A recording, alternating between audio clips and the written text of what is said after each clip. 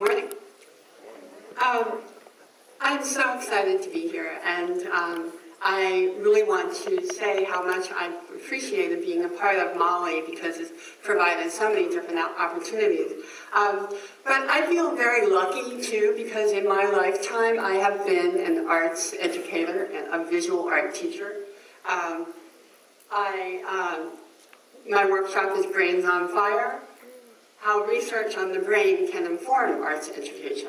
And the reason that this has intrigued me is because I felt like I had a frontline opportunity as a visual art teacher for many years, and then following that as a principal uh, of an elementary school where we brought in arts integration on a regular basis uh, in community with the Stonington Opera House and really did professional development very seriously with students.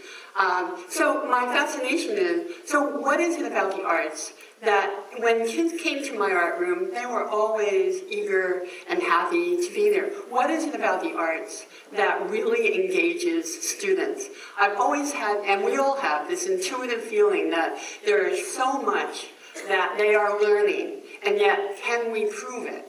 What is it about the art? Why is there a disconnect at the policy level or at the uh, level of leadership in, in education about you know, funding for the arts and so on. So, you know, the, the, the possibilities of learning something about the brain and what the um, connections can be and can we use evidence in neuroeducation now, which is an emerging field, to really help us.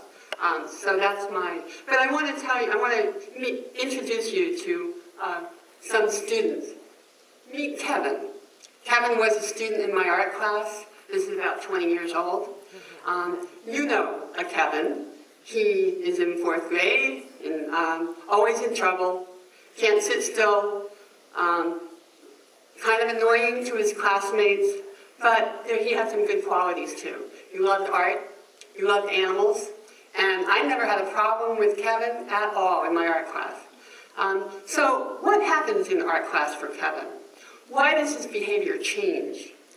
And if you could hook up some wires to Kevin's brain while he's figuring out how to make this penguin, you would see an awful lot of brain activity happening.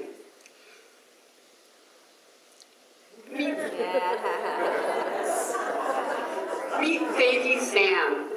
Um, what does this picture tell you about learning? What opportunities are present here?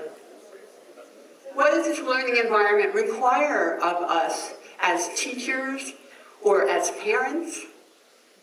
Would we allow that for our own? There's a naked baby in the clay. Um, what are the common myths that we have about the brain that may be hampering us as teachers and parents? But think about it. Imagine this baby with wires on this brain. Could you see the, the fireworks going off on that and that? And what is that kid learning right now? Imagine. Meet Faith and Haley. These are two second graders who were in my school at the time. I was there as principal. Um, they were inspired by a performance in poetry and rap that the Kennedy Center brought into our school. Uh, second graders were in the audience. Faith, in particular, was really inspired. She wanted to do a rap performance and asked her teacher if she could do it. Um, and we gave her that opportunity, and it made a tremendous uh, impact on her life. So, what impact might inspiration and opportunity have on carrying out an idea or an opportunity to perform, perform as a second grader to an audience.